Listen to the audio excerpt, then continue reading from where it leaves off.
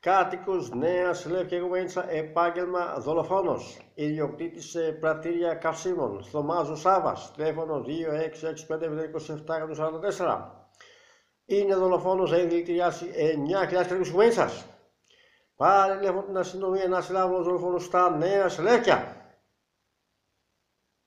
Έδωσε εφοπλιστής Θωμάζο Σάβας 1970 1995 0 ευρώ έδωσε έτος 21, ε, 21 ε, Δεκεμβρίου έτος 1996 έδωσε 1000 δραχμές. Έδωσε εφοπλιστής στο Μάο Σάβας 1970 2006 1000 δραχμές. 100 δραχμές, 1 ευρώ, 1000 δραχμές, 10 ευρώ. Έδωσε 10 ευρώ.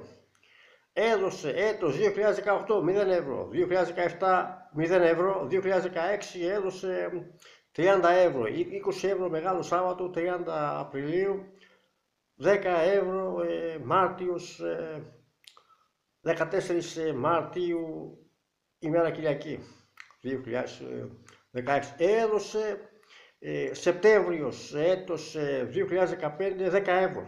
Λέω, έχω λεφτά, δεν θέλω, πάρε μου. Θέλω να δώσω, ήθελα να μου 5 ευρώ, δεν θέλω 5 ευρώ.